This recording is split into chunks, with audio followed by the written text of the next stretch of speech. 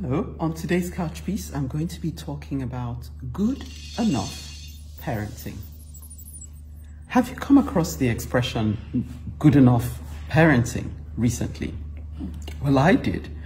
Uh, it essentially means that we life is tough enough, and so we shouldn't go about beating ourselves over the head trying to be the best um, parents, do the best for our children.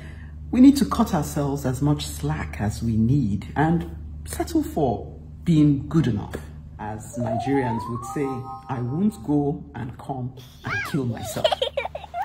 Not want to pile on the guilt because I know as much as anyone how overwhelming parenting can be at times, but we really must choose to be deliberate about the values and directions we stare our children in, or else we may just be piling up problems for tomorrow.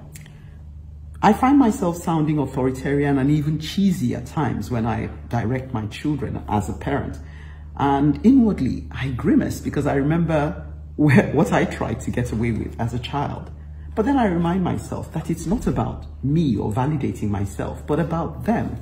And they deserve the right and the opportunity to be the best they can be in life, especially in the areas I fell short. Times are hard, I know, but remember, no one strong-armed anyone into becoming a parent.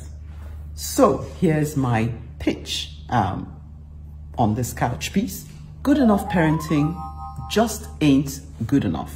So rather, let's ditch that outlook in exchange for when the going gets tough, the tough get going. My name is Akene, and this is my couch piece for today. Have a great day.